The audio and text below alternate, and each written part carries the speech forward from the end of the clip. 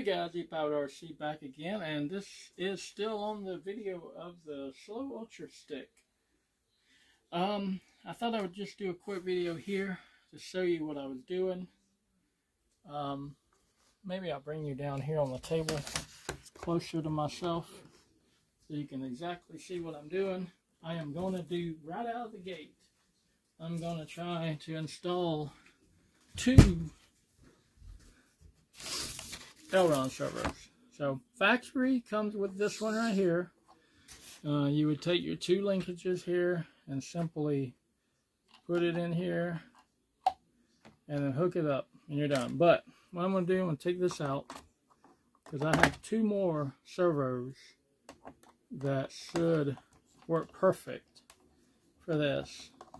And honestly, I thought these wasn't uh, digital servos at first. And I'm still not certain that they're actually Metal Gear servos. So what I have here with me is two Metal Gear servos. So I'm just going to pull this sucker out of here. Uh, oop, seems like something stuck. Oh, there we go. You just want to take the two screws out pull it down and out, if it will. Um, might have to get a screwdriver or something and kind of push it, pull it.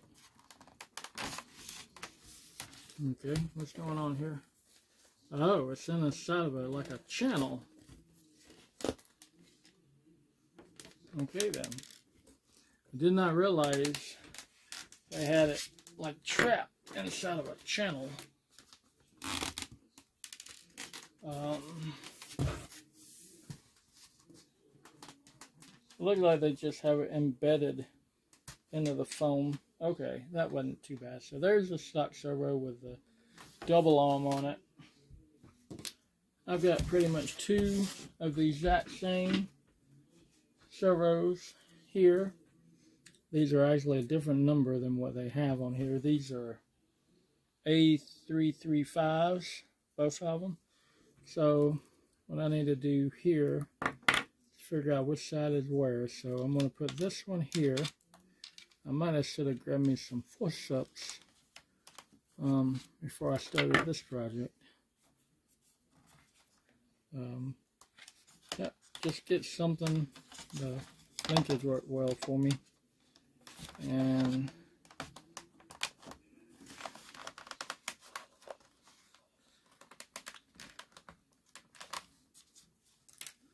Well, physically, they look the same. Or maybe not. Ooh, it looks like the stock servo is a tiny bit smaller. So, but I think I can get it. I think I can get it down in there. Okay.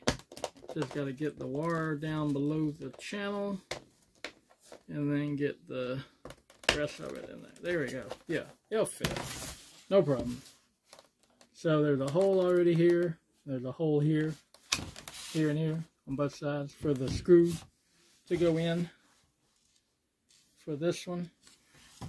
Uh, just like the other one that came out.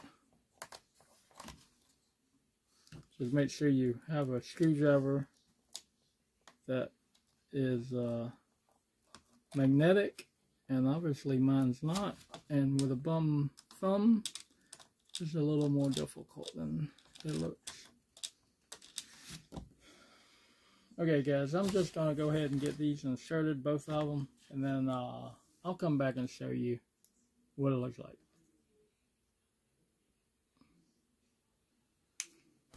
Okay guys I'm back. Sorry about that.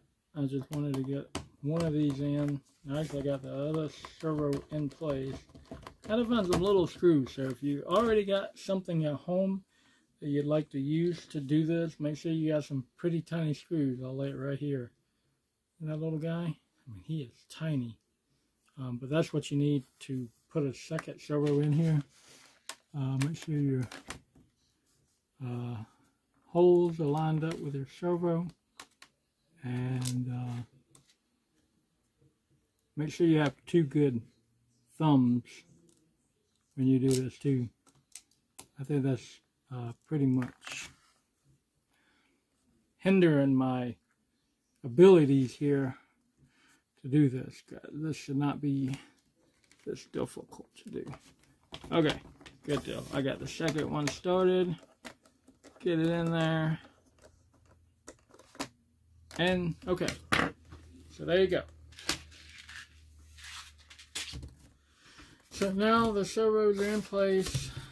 Um, I think you need a, uh, you're going to need a an extension to go because I'm uh, the reason for doing this you want to be able to do both ailerons independently instead of being on a Y harness so just the Y harness uh, actually it doesn't even have a Y harness here because you did only have one servo so but get you another servo lead just a short one um, this is all for this this was the winged secondary servo installation we'll go back to the airplane next or the rest of the install.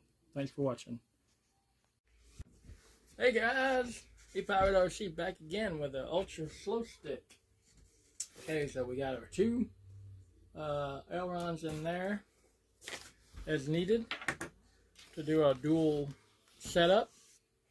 And honestly, I think next, uh, actually, I gotta go ahead and put the wing on. No big deal. Uh, luckily this thing is not too, too big.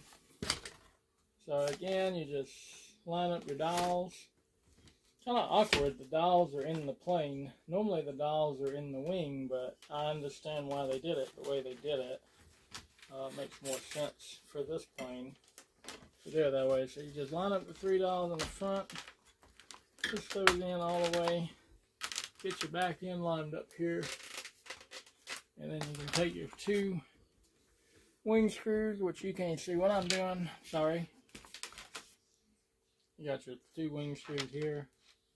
Just put them in and uh, tie them down. I don't think you have to tie them down too tight. Just them. Okay guys, cut back. So these screws actually go in from the bottom. They're not going to fit if you try to put them in from the top. So they go in from the bottom. So I guess they did that to make it give it a little bit more clean look.